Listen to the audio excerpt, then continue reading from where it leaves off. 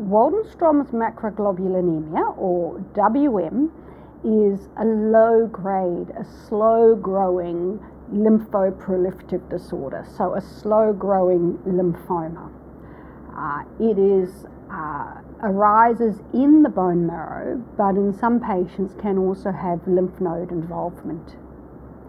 The uh, characteristic feature of Waldenstrom's is that these uh, lymphoplasmacytic cells, these are white blood cells, produce a protein called IgM.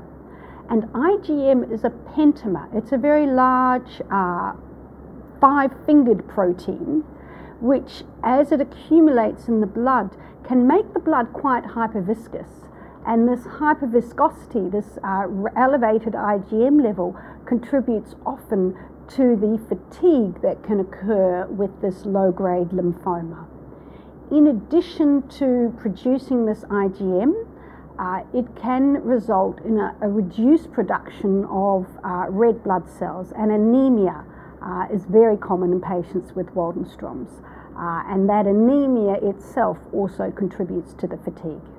Waldenstrom's is commonly diagnosed because the patient presents with fatigue, and that fatigue can be caused by the anemia or the elevated IgM with its hyperviscosity, or can just be caused by the disease itself.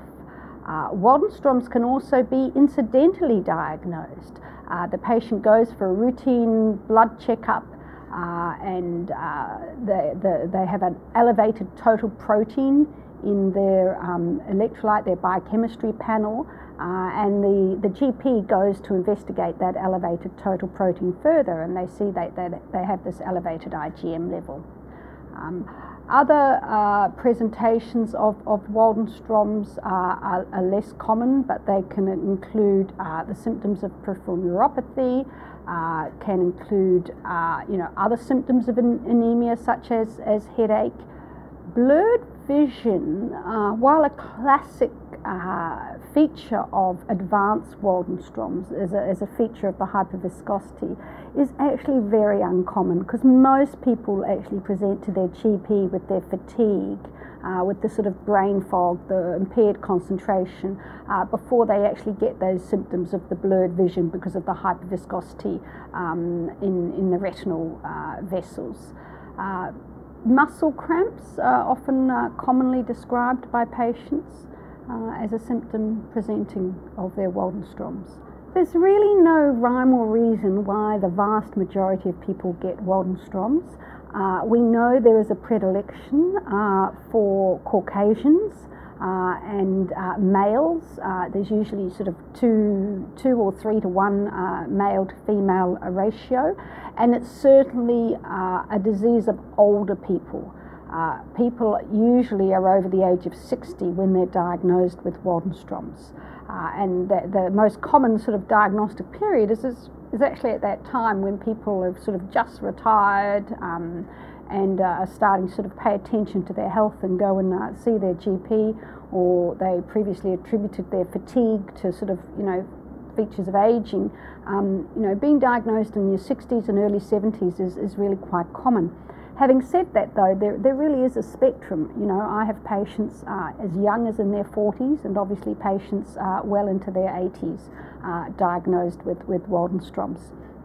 There is, unlike uh, most of the other lymphomas, um, there is a very small familial association with Waldenstrom's, and about 7% of patients with Waldenstrom's will have a family member, a close family member, who also has Waldenstrom's or has uh, an IgM monoclonal gammopathy, an elevated IgM uh, paraprotein, uh, which is of uncertain significance because it's not actually associated with uh, symptomatic Waldenstrom's. The most important thing to do with Waldenstrom's in the asymptomatic patient is to educate them and to explain to them the importance of watch and wait because it's not appropriate to treat Waldenstrom's that's not associated with any night sweats, fatigue, uh, new lymphadenopathy, um, not associated uh, with anemia.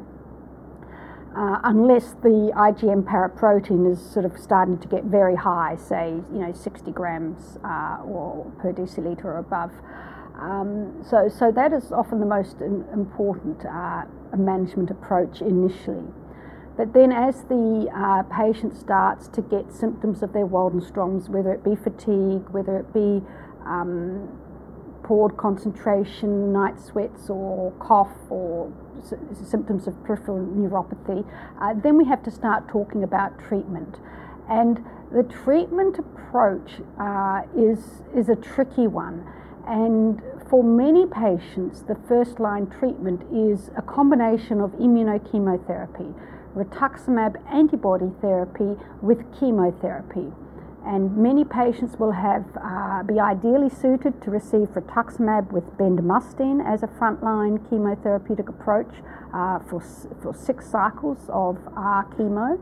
Um, but other patients in whom who have had a very, very indolent, a very slow growing progression of their disease, which may have occurred over years, uh, may be better suited to have uh, rituximab in combination with dexamethasone, the steroid uh, tablets, and uh, oral cyclophosphamide tablets, without going in too heavy handed uh, with bendamustine chemotherapy, which can have quite prolonged immune suppressive effects. And uh, there, there really has been very little in, um, in randomized controlled uh, clinical trial data for the frontline treatment of uh, uh Waldenstrom's macroglobulinemia. There is one small study uh, in about, I think, about 40 odd patients comparing R-CHOP versus R-bendamustine, where the R-bendamustine certainly had a better, what we call progression-free survival. That was a really small uh, study, so it's a bit hard to draw definitive conclusions from that. Um, there were a number of patients enrolled in our Innovate study where we compared rituximab monotherapy, rituximab antibody therapy on its own, uh, with rituximab in combination with ibrutinib, the new enzyme inhibitor that switches off one of the enzymes that's driving uh, the activity of Waldenstrom's macroglobulinemia. Uh, and that clearly showed a significant, uh, quite an impressive uh, advantage in progression free survival for the patients who had ibrutinib added to their rituximab. But the problem with that randomized controlled trial that was published just uh, last year is that the vast majority of patients uh, had the treatment in the relapse setting, and it was only a minority of patients uh, receiving uh, this treatment in the frontline setting. And then the other issue we have is that rituximab monotherapy is not funded in Australia and is not uh, generally used as a first line treatment for Waldenstrom's. Uh, so that comparator arm was, was not an ideal comparator arm. And you're then faced with this issue of with these enzyme inhibitors like ibrutinib, like zanubrutinib, you're faced with continuous oral treatment uh, as opposed to receiving chemotherapy for a finite period.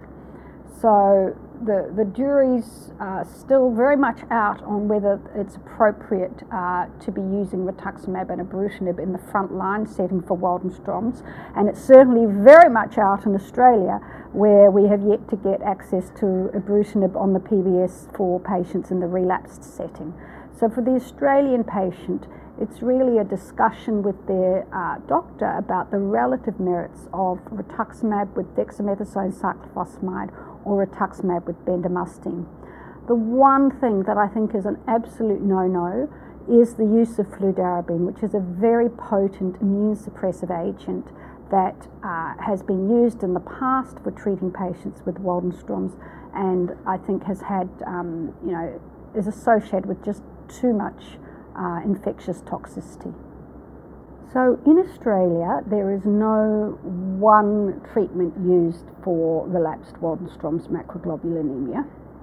Uh, we, we don't actually have access to using bendamustine in the relapsed setting uh, in terms of PBS listing. Uh, so it becomes a discussion with the patient about how they would access bendamustine uh, to add to the rituximab if that was uh, you know, a recommended therapeutic approach. Um, a lot of the time, you can use the same treatment that you've used in the frontline setting.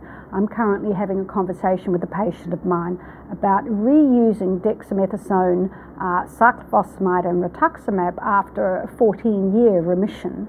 Uh, following the use of that uh, therapeutic approach, uh, obviously 14 years ago. Uh, but generally, again, it's rituximab with chemotherapy. Uh, hopefully, uh, within the ALLG, we'll have a, new trial available for patients uh, with relapsed Waldenstrom's macroglobulinemia, but I think that's probably about a year, a year or so away. What is the prognosis for a patient sitting in front of me diagnosed with Waldenstrom's in 2019? Um, it, it obviously depends on how old the patient is, how rapidly growing their disease is, um, and what therapeutic options we have. And there's no doubt that um, once we have access to ibrutinib as is available elsewhere uh, in the developed world, uh, that will certainly prolong the uh, overall survival of patients with, with Waldenstrom's. So we're looking well over 10 years. Um, we're looking for many patients uh, well over 20 years. Uh, so it's a really an issue now of not how long will I live, but how well will I live? Uh, how can I manage um, the side effects of my treatment and uh, the long term consequences of my treatment.